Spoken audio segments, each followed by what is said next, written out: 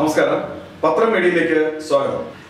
ലോക്സഭാ തെരഞ്ഞെടുപ്പിൽ കേരളത്തിൽ ഏറ്റവും വാശിയേറിയ മത്സരം നടക്കുന്ന മണ്ഡലമാണ് തൃശൂർ.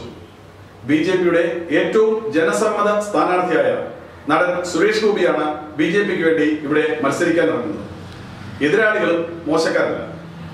കഴിഞ്ഞ തവണ വിജയിച്ചത് ടി എൻ പ്രതാപനാണ്.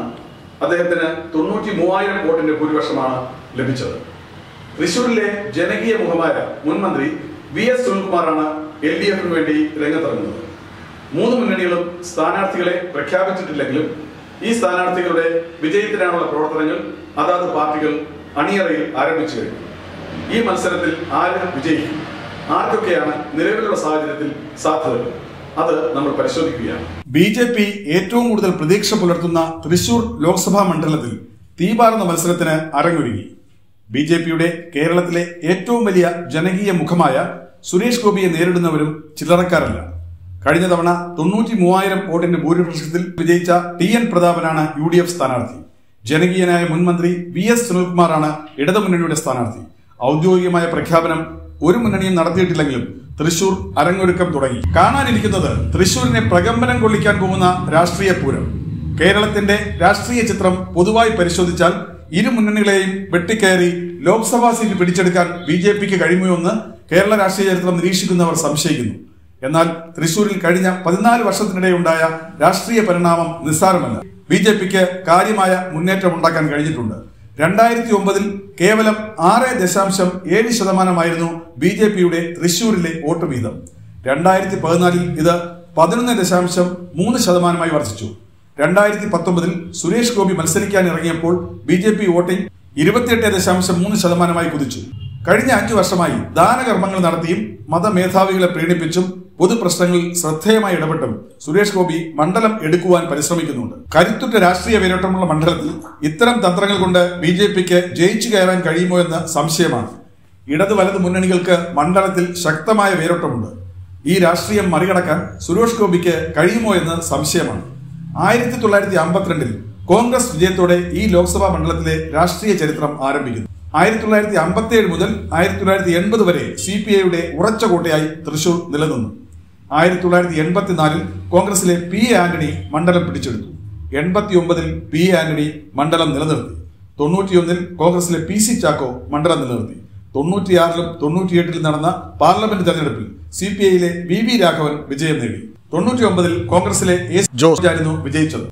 രണ്ടായിരത്തി നാലിൽ സി പി ഐയിലെ സി കെ ചന്ദ്രപ്പൻ മണ്ഡലം തിരിച്ചുപിടിച്ചുവെങ്കിലും രണ്ടായിരത്തി ഒമ്പതിൽ ഇരുപത്തി അയ്യായിരം വോട്ടിന് പി സി ചാക്കോ വിജയിച്ചു.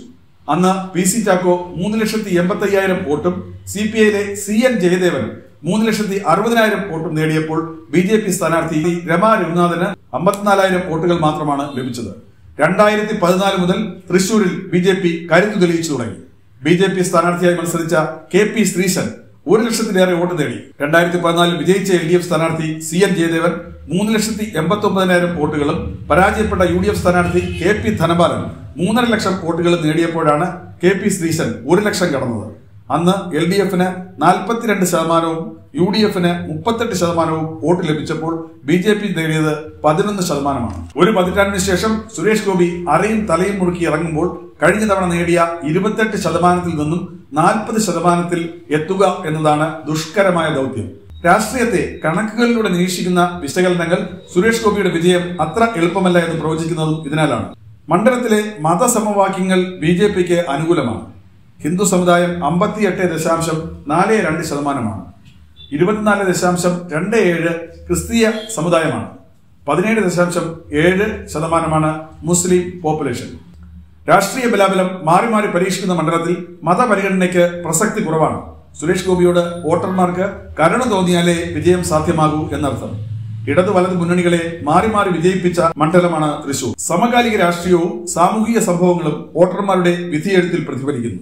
രാഷ്ട്രീയമായി ചാഞ്ചാട്ടമുള്ളവരാണ് തൃശൂരിലെ ചങ്ങായിമാർ എന്നർത്ഥം. അത് ഒരർത്ഥത്തിൽ രാഷ്ട്രീയ പ്രബുദ്ധതയുടെയും സൂചനയാണ്. ഇതിനിടയിൽ തൃശൂർ എടുക്കുമെന്ന് പ്രതിജ്ഞ ചെയ്ത് അഞ്ചു വർഷമായി ഹോംവർക്കും ഫീൽഡ് വർക്കും നടത്തുന്ന സുരേഷ് ഗോപി അത്ഭുതം സൃഷ്ടിക്കുമോ എന്നാണ് രാഷ്ട്രീയ കേരളം ഉറ്റുനോക്കുന്നത്. ഇടതു വലതു മുന്നണികളെ മാറി മാറി വിജയിപ്പിച്ച ചരിത്രമാണ് തൃശൂരിനുള്ളത് കഴിഞ്ഞ തവണ യു ഡി എഫ് സ്ഥാനാർത്ഥി വൻ ഭൂരിപക്ഷത്തിലാണ് വിജയിച്ചത്. ബി ജെ പിയുടെ വോട്ടിംഗ് ശതമാനം അടിക്കടി വർദ്ധിച്ചു വരുന്ന സാഹചര്യവുമുണ്ട്.